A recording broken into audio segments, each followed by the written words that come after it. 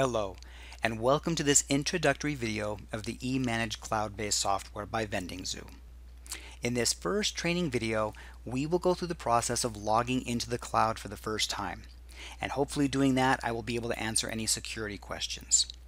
Now, I know you're probably excited about diving into the world of web application security, but before we do that, let me first congratulate you on becoming a business owner. It really is an amazing thing that you've done and a great opportunity. It's also a very courageous step that a lot of people don't take, so you do deserve to be congratulated.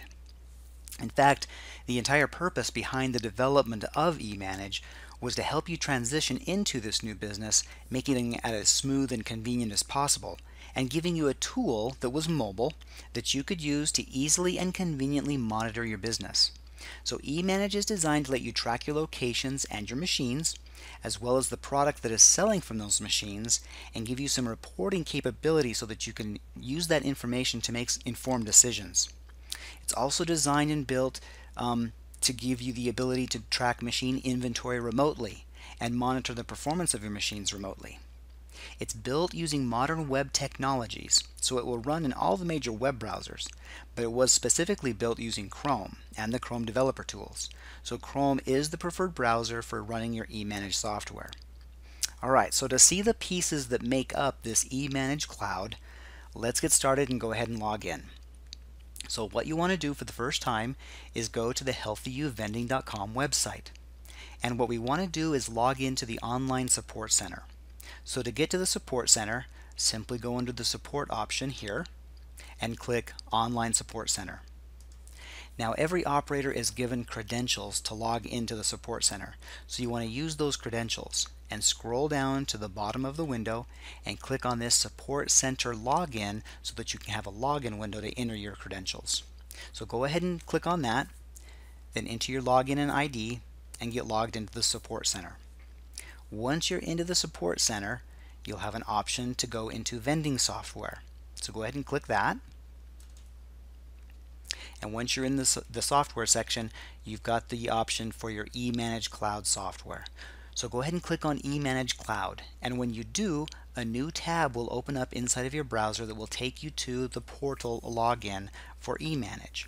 Now the first question that usually comes up is, if I've already logged into the support center once, why do I have to log into the cloud again? And the reason for that is because at this point you could bookmark the cloud and bypass the online support center. You just go to your bookmarks in your browser, bookmark the website, and now whenever you come into your browser you could go directly to the cloud or through your bookmarks go directly to the portal and you can bypass the online support center. So because you can bypass the support center the cloud has to have its own login and authentication process built around it. So that's why you have an additional login into the cloud. Now what you want to do is use those same credentials that you use for the support login for the cloud.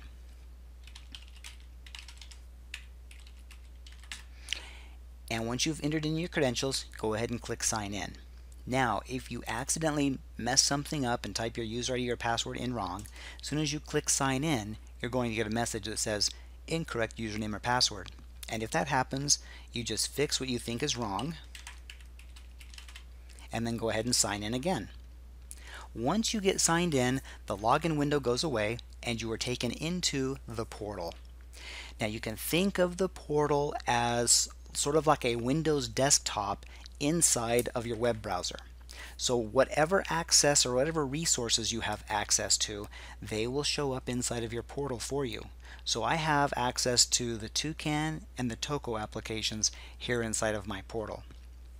Now what just happened when we logged into the portal is the eManage Cloud gave our browser a cookie and it told it that that cookie was valid for 10 hours. After 10 hours the cookie goes stale. But as long as that cookie is valid and in effect, then I do not have to log in to anything else in the cloud as I move around. So for example, if I go ahead and click on Toucan, it opens up another browser tab for me and it loads the Toucan application and I don't have to log in again. Likewise, that, that portal tab stays open, so I can click back on the portal and I can even go into Toco. And it doesn't ask me to log in again. So as long as I am logged into the cloud and that cookie is valid, I can move around between applications and I don't have to log back in again within 10 hours. After 10 hours, that cookie goes stale and I would have to log back in again. So this is the balance between security and convenience to give you that convenience of being able to use your applications while still keeping your data as secure as possible. So to kind of demonstrate that, what I'm going to do is I am going to close down all of the tabs that are making up the eManage Cloud. So we've closed them all down and we're back to where we started from with um, inside the support center. And I'm going to click on the eManage Cloud button again and we'll see what happens. And I don't have to log in again because that cookie is still valid. So it takes me right into the portal. Now if I were to close the browser down completely with my X and completely shut it down, that, um, that will delete the cookie. So the next time I open up my browser, I will have to log in again. If I want to completely delete that cookie and completely sign out of eManage and I don't want to close my browser, for example, maybe I have my software opened up on a tablet and I'm using the tablet and somebody needs to borrow that and I want to sign out so that they don't have they don't accidentally do something with my data. Underneath your name over here on the right side you have a sign out option. And if I click sign out that will also delete that cookie. So if I do sign out close down my portal now if I go back in again I get to have that login window again. Now the browser will remember your user ID and password if you want it to. So that's an option that you can use as well to make things as convenient as, as you can to log in. So I recommend you can go ahead and let it remember your user ID and password if the device that you do that on is your own private device. Don't do that on a public device at Costco or Best Buy. Okay, so that is a little bit about the, um, the security around eManage Cloud, how you get logged in, and how that security mechanism works to allow you the flexibility and convenience of staying logged in, but still keeping things as secure as possible. One other option over here under your name that you may want to take advantage of is this change password option. So you go ahead and click change password and what you would do is type in the current password that you currently have. Then you put in your new password and confirm that password and then go ahead and click change. If you make a mistake or type something in wrong, you will get some messages when you go to change, things like your new password doesn't match. Or maybe the old password that you're typing in, the current password, doesn't match what the current password is in your server. So then you can just change that. So if you type in your information and you click change and the window goes away, then your new password has been set. Okay, hopefully that helps answer some of the questions on how to get logged into the cloud for the first time. Now, I recommend that you subscribe to the Vending Zoo channel here on YouTube.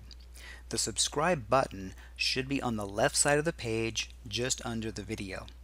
Subscribers will have opportunities to win prizes and enjoy some fun things, but more importantly, as new functionality or new instructions come out, we can notify you when those happen.